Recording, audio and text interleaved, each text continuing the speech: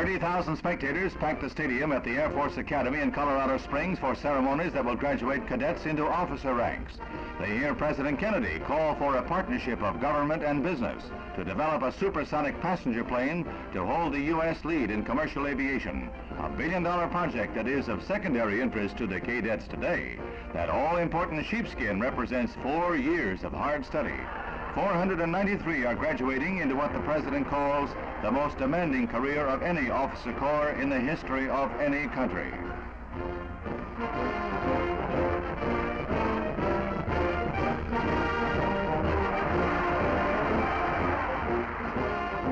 They'll follow their hats into the wild blue yonder.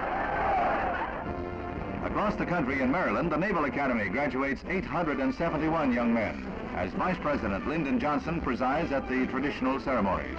Mr. Johnson asked the new officers to remember that America did not strive for peace because we are weak, but rather because we are strong.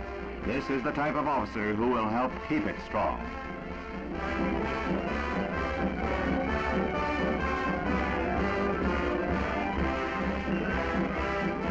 Anchor man is cheered. He finished last, but he graduated, so from last man to honor man, it's hats and anchors away.